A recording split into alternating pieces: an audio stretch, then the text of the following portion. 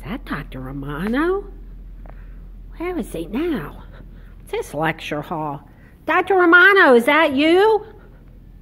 Yes, it is. Dr. Romano, what are you doing? I'm writing up an exam question for my DAT Destroyer group. Really? Wow, this is a cool lecture hall. Oh.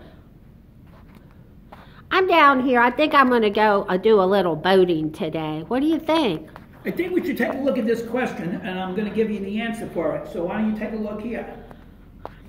Golly, never a break. The question was, um, if you had methane, how many total orbitals would you have? This is a hard question.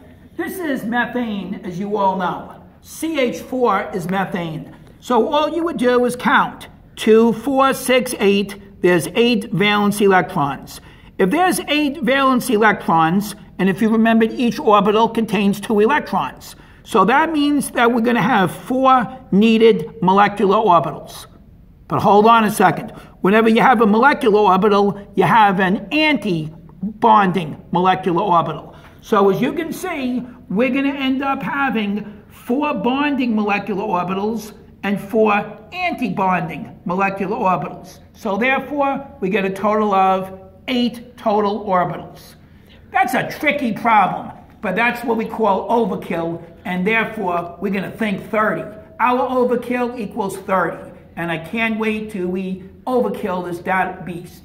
All right, good day to you. One more question, Dr. Romano. If I know how to do that, will I get a 30? No, you need to know a lot more than that, but you'll be on your way. Good day to you. Dr. Romano, I just got your 2018 book. Well, you're going to need the 2018. It's going to reflect all the changes that the new DAT's made. Goodbye.